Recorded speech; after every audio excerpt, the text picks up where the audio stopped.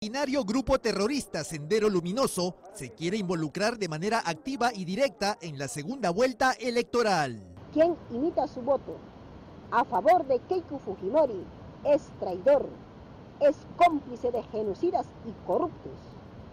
Boicot a las elecciones burguesas en su segunda vuelta.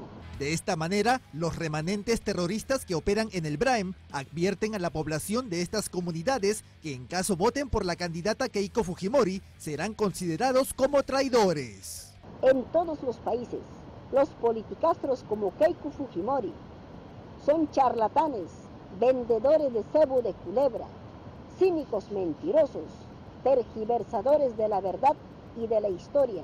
Quien imita su voto a favor de Keiko Fujimori es traidor.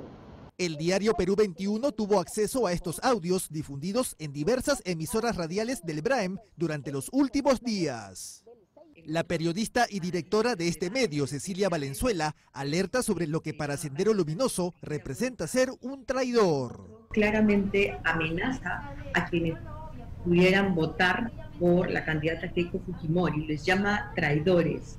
Y eso es muy peligroso en el lenguaje de Sendero Luminoso y del terrorismo, porque los terroristas, los senderistas, asesinan a las personas a las que acusan de ser traidoras, las asesinan y, las, les ponen carteles eh, sobre ellos, pues diciendo que son eh, traidores al pueblo.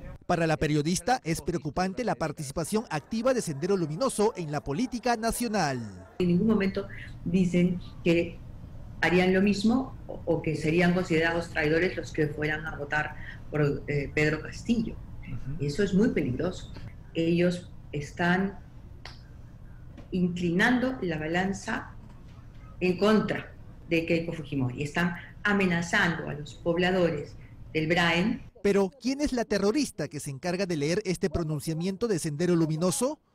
Se trata de Flor Vargas Figueroa, conocida como Camarada Vilma, quien desde este año tiene una relevancia mayor en los remanentes terroristas del Braem. La que habla es una tal Camarada Vilma, que es una dirigente que probablemente ella sea la número dos después de la muerte de este otro mando, el, el camarada Raúl, en enero de este año por lo menos ella desde febrero a la fecha, por lo menos ya sacó algo de siete u ocho audios. Para Pedro Yaranga, experto en temas de terrorismo y narcotráfico, los mensajes de Sendero Luminoso, donde en ningún momento se habla de Perú Libre o de Pedro Castillo, son llamativos.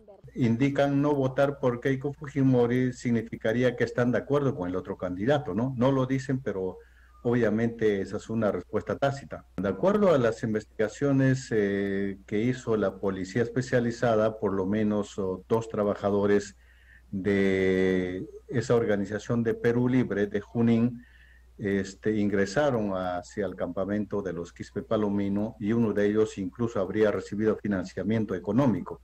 Eso es recursos provenientes del narcotráfico.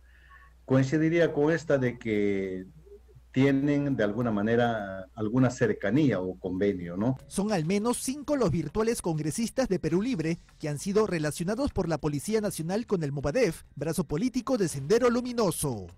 Entre ellos se encuentran Elizabeth Medina, Germán Tacuri, Edgar Tello, Paul Gutiérrez y Guillermo Bermejo, este último acusado formalmente de terrorismo y cuyo juicio se inicia el 18 de mayo.